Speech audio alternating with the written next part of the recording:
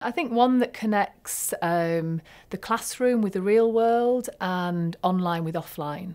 So, um, you know, it's it's a difficult thing to create, but I think, uh, yeah, a sort of a more, more immersive real life experience is is how students want, you know, should be learning and will learn most effectively.